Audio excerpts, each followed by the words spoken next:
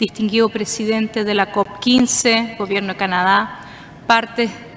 del convenio, a todos y todas los presentes. Me presento desde Chile, un largo y angosto país al fin del mundo, con ecosistemas y una diversidad única, con una variedad de paisajes que conmueven. Desde el desierto más árido del mundo, el que florece de manera sorpresiva y espontánea, hasta los campos de hielo, que no solamente son una fuente importante de agua, sino que también nos permiten conocer la historia de nuestra tierra. Nuestros ecosistemas y la biodiversidad que presentan son el sustento de la vida de todas las personas que habitan nuestro país y son fundamentales para alcanzar el desarrollo sostenible y es por esto que nuestro compromiso de protegerlos como una manera de contribuir al mundo y tomar todas las medidas posibles para prevenir su deterioro ante el desarrollo de actividades económicas, tendiendo en cuenta la triple crisis que como humanidad enfrentamos, cambio climático, pérdida de biodiversidad y contaminación. Recordando nuestra participación en la COP27 de Cambio Climático, hoy nos ponemos a disposición de las negociaciones de la COP15,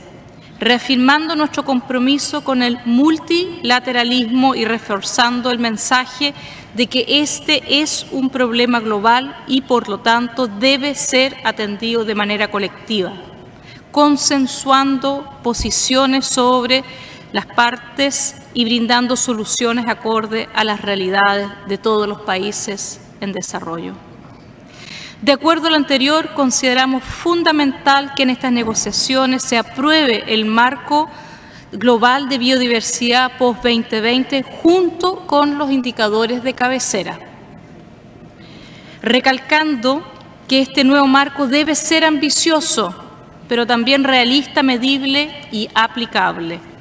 esto último es fundamental, ya que la implementación del marco en aquellos países que albergan la mayor parte de la biodiversidad, ya sea porque son megadiversos o por contener una alta eh, presencia de especies endémicas, deben enfrentar numerosas barreras para obtener los recursos que requieren un desafío como este. En este sentido, se debe aumentar la disponibilidad de recursos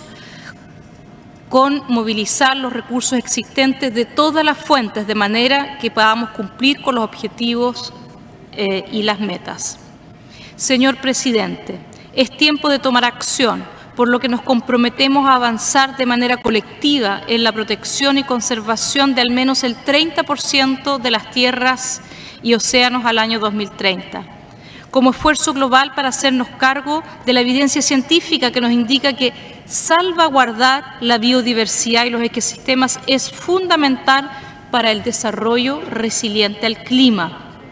a la luz de las amenazas climáticas, y que esto implica proteger aproximadamente entre un 30 y un 50% de la tierra, el agua dulce y el océano en la tierra. Buscamos la consecución de los objetivos de desarrollo sostenible a través de procesos de transición que deben ser ecológicos pero también sociales y se deben realizar con justicia.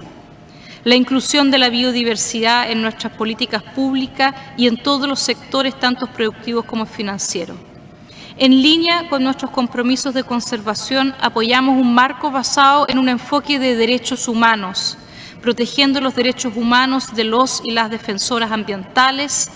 los conocimientos tradicionales de los pueblos indígenas y comunidades locales. Reafirmamos a su vez que la implementación del marco debe estar alineado con la igualdad y perspectiva de género, asegurando los derechos de las mujeres y niñas y su capacidad de contribuir al desarrollo y cumplimiento de los compromisos que se adopten en esta convención. Finalmente, reitero nuestro compromiso con la implementación del Marco Global de Biodiversidad post-2020 por medio del fortalecimiento de nuestra institucionalidad ambiental. Los compromisos de Chile en el contexto de cambio climático incluyen compromisos de biodiversidad a través de soluciones basadas en la naturaleza. Paralelamente, estamos comprometidos en mejorar la articulación público-privada a través de la creación del Fondo Naturaleza Chile, que busca contribuir a disminuir con la brecha de financiamiento de biodiversidad de nuestro país. A las partes de esta convención les solicito flexibilidad y ánimo de llegar a acuerdos. Muchas gracias.